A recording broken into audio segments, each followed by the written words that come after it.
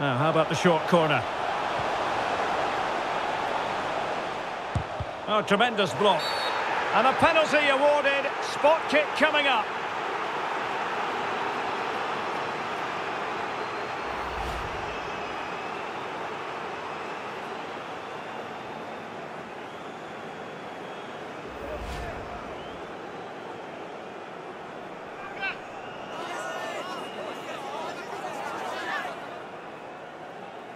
This to make it 1-0.